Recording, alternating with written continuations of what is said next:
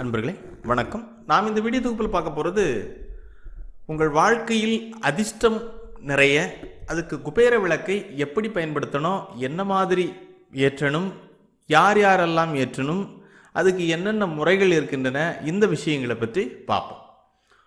குபேரர் தான் செல்வ செழிப்பை நமக்கு அள்ளித் தருபவராக இருக்கிறார். அந்த குபேரனை வழிபடுறதுக்காக நாம் ஏற்றக்கூடிய தீபம் தான் குபேர விளக்காகும்.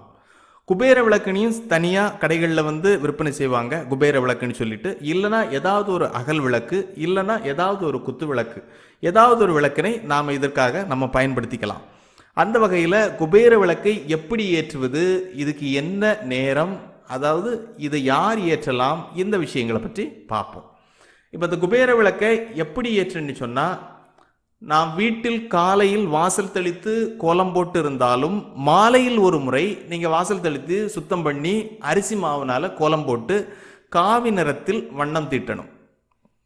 அந்த கோலத்தில் காவி நிறத்தில் வண்ணம் தீட்டணும். அடுத்ததாக நம் நிலைவாசல் படியை துடைத்து இரண்டு பக்கமும் உங்கள் வீட்டு வழக்கப்படி மஞ்சள் தீட்டி குங்குமம் போட்டு வைக்கணும். அந்த நிலைவாசல் படியில் அடுத்ததாக ஒரு எலுமிச்சம் பழத்தை இரண்டாக வெட்டி ஒரு பாதியில் வந்து மஞ்சளும் இன்னொரு பாதியில் குங்குமம் தடவி வாசலின் வலது பக்கமும் இடது பக்கமும் வைக்க வேண்டும். அந்த எலுமிச்சம் துண்டுக்கு அருகில் நீங்கள் பூக்கள் வைக்கணும். உங்கள் எந்த பூவாக இருந்தாலும் சரிதான். அந்த எலுமிச்சை பழத்தை சுற்றி பூக்கள் வைக்க வேண்டும். விளக்கினை நன்றாக தேய்த்து சுத்தப்படுத்தி அடுத்ததாக விளக்குக்கு மூன்று அல்லது ஐந்து பொட்டு வைக்கணும். அதாவது மஞ்சள் மற்றும் குங்குமம் கலந்த பொட்டு வந்து ஒரு மூன்று பொட்டு வைக்கலாம். கீழேருந்து மேல் நோக்கி. இல்லைன்னா ஐந்து பொட்டுகள் குத்து விளக்காக இருந்தால். இல்லைன்னா அகல் விளக்குனா அதை சுற்றி ஒரு மூன்று பொட்டுகள் வைக்கணும்.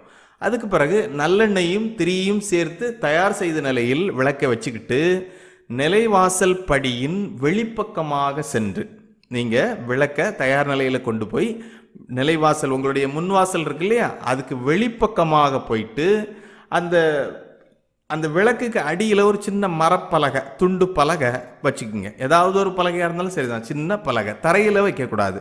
வச்சு அங்கிருந்து நீங்கள் வெளியிருந்து உள்நோக்கி நீங்கள் என்ன பண்ணணும்னு சொன்னால் அங்கேருந்து பார்த்தா உங்களுக்கு இடதுபுறத்தில் அந்த விளக்கை வைக்கணும். இந்த விளக்கை யார் ஏற்றணும்? அப்படி பார்த்தா இந்த விளக்கு வந்து கிழக்கு நோக்கித்தான் இருக்கணும். உங்கள் வீடு எந்த திசையை நோக்கி இருந்தால் கூட அகல் விளக்கு வந்து கிழக்கு நோக்கி பார்த்தவாறு தான் இருக்கணும்.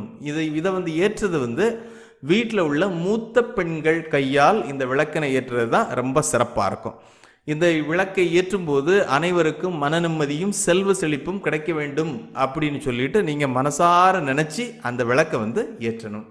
இந்த விளக்கு எந்த சமயத்தில் ஏற்றணும்னு பார்த்தா குபேரருக்கு உகந்த நேரமான மாலை ஐந்தரையிலிருந்து இரவு எட்டரை மணி வரை இந்த விளக்கை ஏற்றி வைக்கலாம்.